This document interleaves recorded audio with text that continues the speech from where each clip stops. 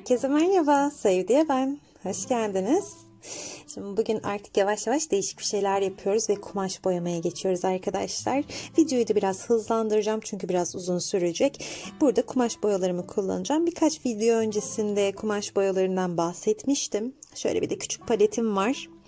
Burada klasik olarak ihtiyacım olan renkleri aldım. Ee, burada kırmızı, mor, sarı, mavi ve yeşil tonları mevcut. İlk olarak e, güzel çiçeğimin yapraklarından başlıyorum. Çok az bir şekilde boyayı incelttim arkadaşlar. Biraz su damlattım içine. Hepsi bu kadar palete renklerimi aldım. Çok az bir miktar su damlattım. E, keten bez çanta üzerinde çalışıyorum. Biraz delikli bir keten. Birkaç kat atacağım yer yer e, boyaları. Daha iyi anlayacaksınız. Daha do, doygun e, bir de konuşabilirsem çok şey anlatacağım. Daha doygun, daha tok durması için, daha böyle hani şık durması için birkaç kat çalışacağım bazı yerlerini özellikle. Ve her zaman söylediğim gibi tonlar oluşturacağım. Ne kadar çok ton o kadar güzel resimler ortaya çıkacak. Burada da çok güzel çiçeklerimiz çıkacak. Burada koyu yeşille sarıyı ikisi arasında böyle açıklı koyulu tonlar oluşturaraktan yapraklarımı yaptım. Dalları da aynı şekilde şimdilik yeşil atalım bakalım. Duruma göre belki değiştirir belki değiştirmeyiz. Zaten çok fazla yaprak mevcut değil. Yaklaşık olarak birbirine benzer tonları kullanıyorum. Özellikle keteni tercih ettim burada. Keteni boyaması biraz zor oluyor. Dokuları var ama aynı zamanda güzel bir tarafı var ki biraz böyle e, tuvalin bezi havasında. Onun daha inceltilmiş şeklini düşünün sizin için de güzel bir tecrübe olacaktır. Keten üzerinde çalışırsanız ya da dilerseniz evinizde herhangi bir kılık kıyafetinizde boyayabilirsiniz. Burada çiçeğin yaprak kısmını, dal kısmını biraz kahve tonlarında giriyorum. Yine her yerinde aynı şekilde boyanın içine birkaç damla su koydum. Paletim de zaten buna müsait olduğu için yanına damlattım. E, kimi yeri biraz daha incelterek, kimi yeri biraz daha kalın e, boyayı inceltmeden kullanıyorum. Özellikle böyle köşeleri geçerken bol e, şey yapıyorum. Islat, inceltiyorum suyla. Burada da şimdi koyu yerlerine ilk başta diplere giriş yapacağım.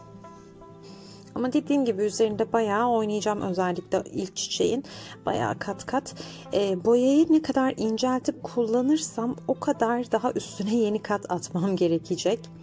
Burada biraz beyazla e, lila oluşturuyorum.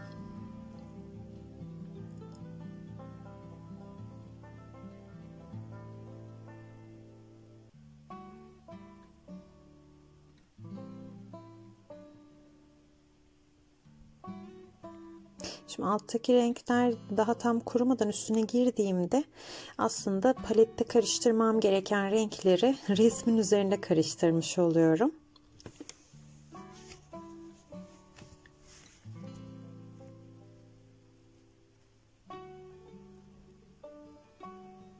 Hiçbir şekilde uğraşmak istemiyorsanız mesela diyelim ki düz renkler boyayacaksınız. Böyle renk geçişleri yapmayacaksınız. Ancak daha böyle kalın bir katman da oluşturmak istiyorsanız altına direkt olarak bu şekilde beyaz renkli astar gibi düşünebilirsiniz. Beyaz renk girersiniz. Beyaz kuruduktan sonra üstüne tek renk ya da ton artık nasıl isterseniz direkt olaraktan e, istediğiniz son halinde olmasını istediğiniz rengi de girebilirsiniz. Yani benim gibi bu kadar ayrıntı uğraşmanıza gerek kalmaz. Çünkü bakın şimdi e, bu aşamada özellikle bu morlu pembeli yerler çok ince kaldı. Şimdi videodan ne kadar anlaşılıyor emin değilim ama e, normal baktığımda biraz daha tok ve dolu olmasını tercih ediyorum. Uç kısımlarına biraz sarı ve beyaz sarı ile beyazı kırıyorum özellikle. Ay beyazla sarıyı kırıyorum özellikle. Daha böyle yumuşatıyorum rengin tonunu. Ve burada e, beyaz ve sarıyı kullandığım yerde açıkçası çok da fazla inceltmedim boyayı. Burada bakın bu soft yumuşak geçişi yapmak için dipleri inceltilmiş bir şekilde moru girdim ya sonra beyazı hemen kullandım ve az önce söylediğim gibi şimdi sarıyı da aynı şekilde yapıyorum e, zemindeki rengim kurumadan üstüne hemen yeni rengi giriyorum. Böylelikle e, resmin üstünde renk geçişi yapmış oluyorum. Şimdi bakın burada mor aynı şekilde. Buraya hemen araya tamamlayıcı renk tonunu böyle biraz sarı biraz beyaz karıştırarak bir yumuşak bir geçiş yapıyorum orada. Dipten de hiç kurutmadan direkt mavi tonunu girdim. İlk yeni başlayacaklar için bu biraz zorlayıcı bir resim olabilir. Ben özellikle e, biraz renk tonlarıyla oynamak adına böyle bir şeyi seçtim. Bir de birkaç e, farklı şekilde göstermek istiyorum.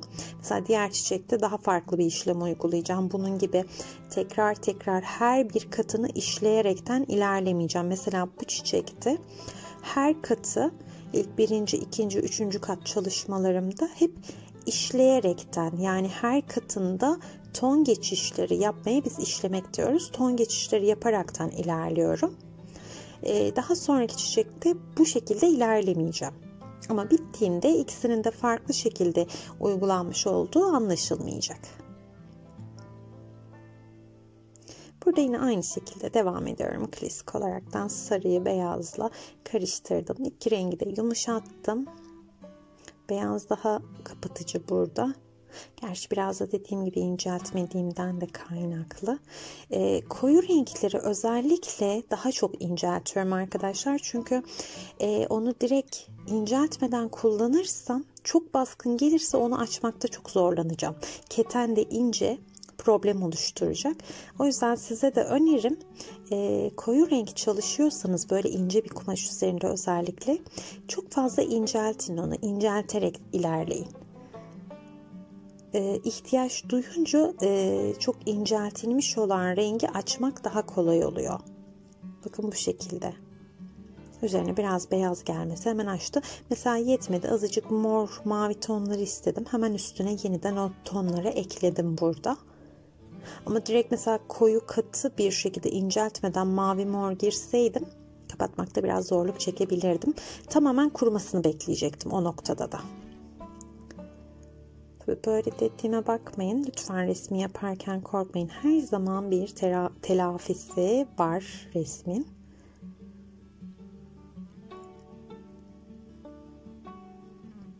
Bakın burada da beyazla mor arasında ton geçişi yapıyorum. Daha ıslak olduğu için her iki tarafta böyle yumuşak soft pudralı gibi bir geçiş oluşuyor. Biraz da sarı ekliyorum özellikle. Ve daha çok ışık alan yerlerinde daha çok beyaz kullanıyorum. Zaten beyazları girdikçe daha etkileyici duruyor. Özellikle bittiğinde arka fonda da değişik bir etki yapacağım arkadaşlar. Burada mesela direkt hem inceltilmiş hem kalın boyayı e, resmi işleyerek kullanıyorum. Sonra en sonuna geldiğimde çiçeklerin arkasında kalan kısmı daha farklı bir etki böyle e, sulu boya etkisi gibi bir etki vermeyi göstereceğim. Daha artistik bir hava oluşturacağız. Buraları hep ıslak üstüne ıslak çalışıyorum. Zemin nemli. Boyayı kurutmadan yeni tonları ekledim. Şimdi kuruttum ama bakın şimdi direkt böyle morları girmeden önce kurutaraktan devam ediyorum burada. Çünkü belli bir yerden sonra artık e, çok fazla üst üste girersem renkler çamurlaşmaya, kirlenmeye falan başlayacak ve bu da daha çirkin, amatör bir görüntü oluşturacak. Lütfen buna da çok dikkat edin. De en son böyle kuruduktan sonra özellikle belli başlı yerlere çat çat diye böyle beyaz renkleri attığımızda birden ışık gelmiş gibi bir etki oluşturacak. Daha etkileyici duracak.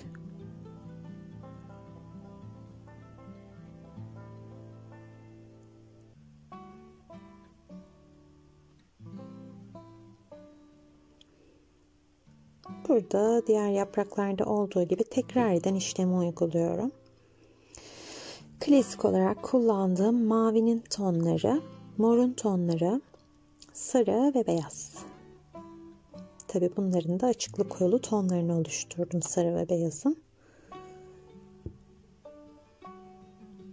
Miniklere direkt beyazla girmek daha iyi oldu.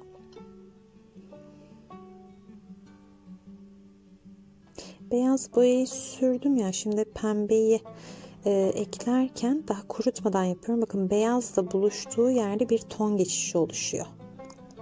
Islak çünkü henüz zemin. Daha hoş bir geçiş etkisi oluşturuyor bu şekilde.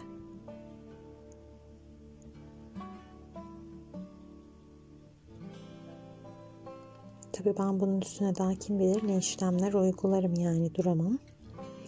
Çünkü daha böyle ilk katı biraz ince olduğu için astar gibi duruyor çiçek. Çok tok durmadı. Amatör bir görüntü oluşturmasını da istemiyorum. Her ne kadar çantada olsa duvara asılan bir resim gibi özenmek lazım.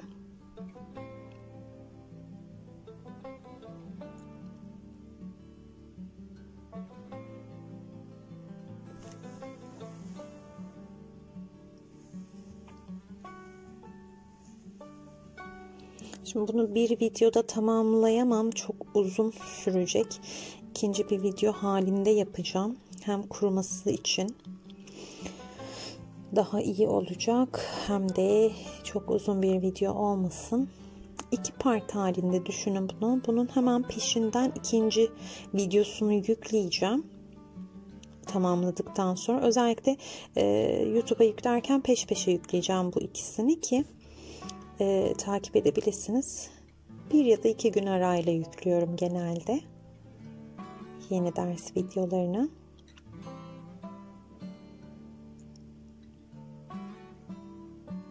Mesela kırmızıyı sürdüm ya orada e, gözüme çok koyu gelen yerleri e, üzerine beyaz dokundurarak açtım. Şimdi birazcık diğer e, resim şeydeki çiçekteki renklerle birbirini tamamlaması için sarı da girmek lazımdı.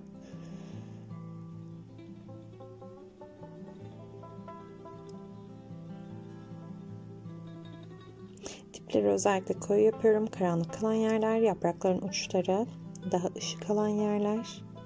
Böylelikle de zaten boyut kazandırıyoruz.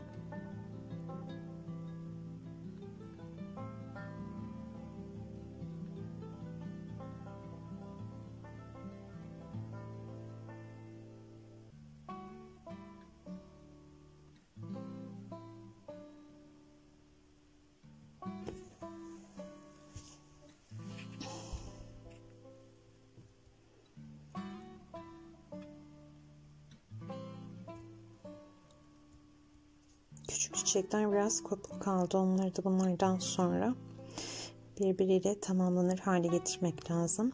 Resimde bütünlüğü sağlamak çok önemli.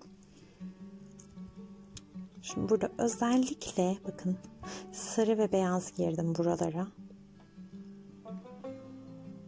Diğer taraftaki gibi mesela ilk yaptığım çiçekteki gibi tonları işlemiyorum burada. Direkt açık renk girdim astar atmak gibi düşünebilirsiniz bunu. Şimdi bunu mesela bu şekilde tamamını bembeyaz boyayıp daha sonra üstüne tek kat renk ve ton geçişleri yapıp resmi tamamlayabilirim. Ya da istersem ilk çiçekte yaptığım gibi direkt olarak işleyerek en başından daha tonlar oluşturarak da yapabilirim tercihinize kalmış bir şey. Her iki şekilde de olabiliyor. Her iki şekilde de dikkat etmeniz gereken şey renkleri çok fazla birbirine karıştırıp e, kirletmemek, çamurlaştırmamak. Onun dışında her iki şeklinde de pekala çalışma yapabilirsiniz. Zaten tamamlayınca en üstüne e, kurduktan sonra tersinden ütü yapıp sabitleyeceğiz. Şimdi bunların üzerine bir sonraki videoda detaylı bir işleme yapacağım. Renk ve tonlarını. Hadi bakalım. Yeni bir derste, yeni bir videoda yeniden görüşünceye dek kendinize çok iyi bakın. Sevgiyle kalın.